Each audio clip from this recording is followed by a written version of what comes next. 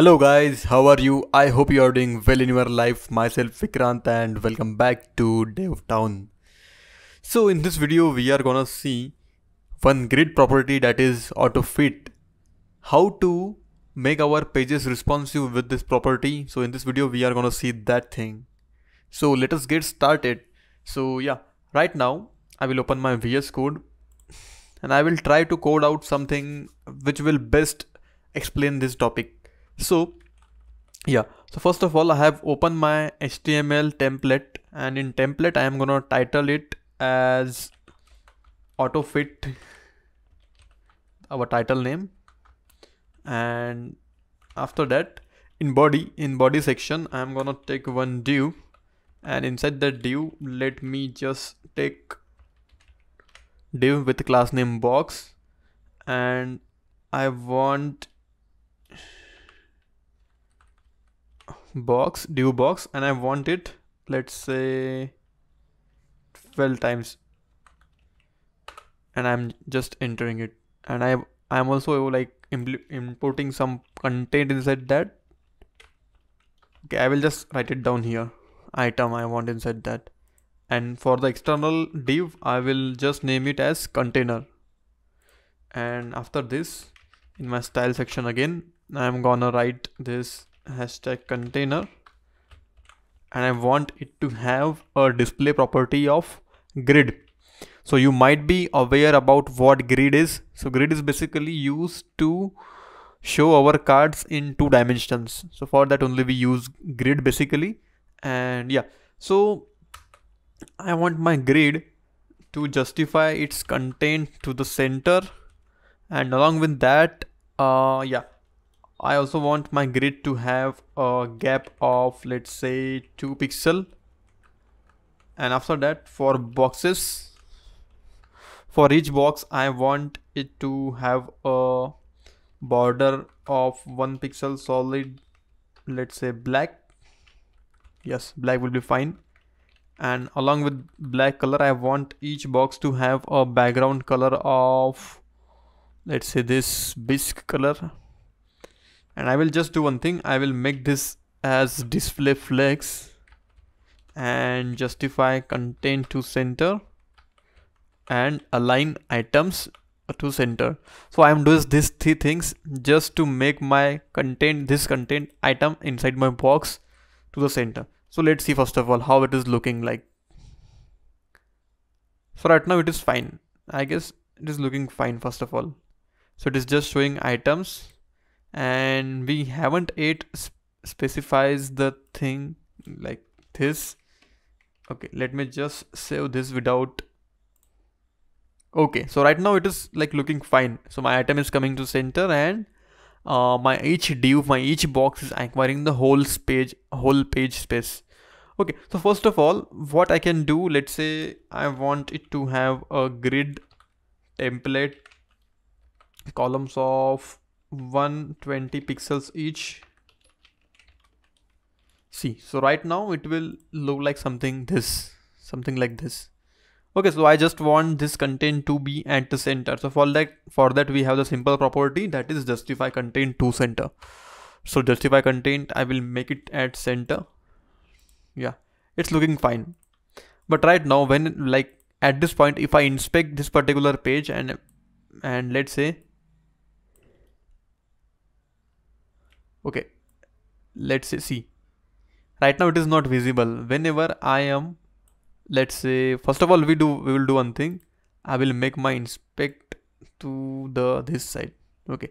So right now you're able to see that my content my content is not properly visible whenever my this responsive size is yeah 100% see. So that's the problem with uh without using if, if we are doing this content without using autofit. So in that case this problem will arise. So how to overcome this problem? And let's say if we want to make our page our grid responsive according to the screen size. So in that case what we can do? Either we can use the media queries or we can use the autofit properties. So how to use these autofit fit properties? So let's say first of all uh, I will do one thing. I will just comment out this second line and grid template columns. Let's say if we are using the repeat property. So what repeat property will do? Let's say see first of all let me show you a simple thing. First of all let's say i'm using this 200 200 pixel and comma oh instead of 200 pixel i will use 3 comma 1 fr okay. So let us see how how does it look like look like. So right now it is looking like this. My each row is getting three three items. Okay. So uh, it, it is coming just because we have passed here 3 and 1 fr okay. So let's say if i passed here 4 comma 1 fr so in that case it will look like this. So four items will come in each row. Okay. So now what i want? See here is the problem if i make this content like if let's say if i'm i'm inspecting this see whenever i am going lesser and lesser in my inspect section my grid will not shrink. It will remain the uh, like the four column will pre-exist in the inspect section. Okay so i can do one thing right now. Uh, let's say i uh, if, if i'm using media queries then i can change this template grid template columns on the on the basis of my screen size. Let's say on on like middle screen size i want like it i want it to show three columns in, in each row.